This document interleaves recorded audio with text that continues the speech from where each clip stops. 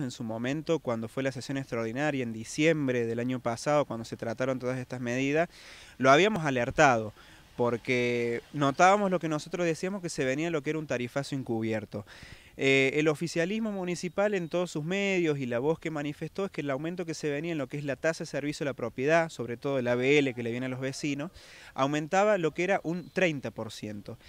Y como nosotros dijimos, una verdad parcial, porque en realidad lo que estaba sucediendo es que eh, se creaba una nueva tasa que se llamaba Contribución Especial para la Obra Pública, que adicionaba un 60% más nuevo a esta nueva tasa que se a, la tasa que normalmente aumenta todos los años. Entonces, la composición de la tasa municipal, el ABL, tiene su rubro básico y numerosos rubros adicionales que se van adicionando a la tasa principal, que son, por ejemplo, el ente, para el ente mixto de promoción deportiva, el fondo del Mirlo, que Normalmente son del 1, 2%, montos menores. Pero cuando nosotros vimos que se creaba una nueva tasa que adicionaba un 60%, calculamos que este aumento iba a ser del 100% o más del 100%. Entonces, desde nuestro bloque nos manifestamos en contra, dijimos de que se trataba de un tarifazo encubierto, ya que en realidad este, los vecinos no estaban al tanto de esta situación y lo iban a ver recientemente ahora. Bueno, muchísimos vecinos se han notado que le ha venido el doble, mucho más del doble, entonces creemos que es una situación que trae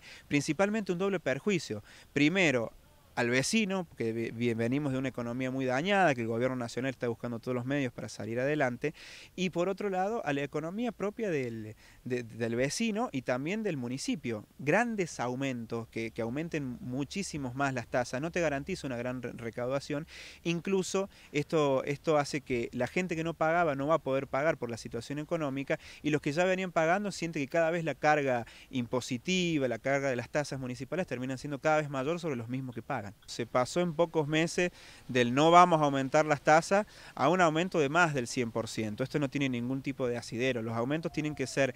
progresivos, tienen que ser paulatinos y tienen que ser cuidando el bolsillo del vecino. Yo creo que la minga este, es una herramienta no innovadora, sino distinta para buscar reacondicionar algunos espacios que son de públicos, que son de los merlinos y que le corresponden al Ejecutivo Municipal tenerlos en buenas condiciones.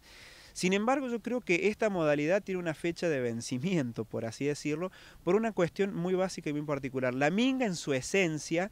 viene desde abajo, viene desde la organización de los vecinos, de la organización popular. No puede ser la minga una política de Estado, porque justamente si vos le estás sacando a los vecinos un 100% de aumento en sus tasas municipales, le estás haciendo un 150, un 300% el aumento en los montos de derechos de construcción, y encima querés que te lleven un balde de pintura y unas cosas para arreglar algo que lo tiene que arreglar el municipio, desde ese punto de vista no me parece adecuado.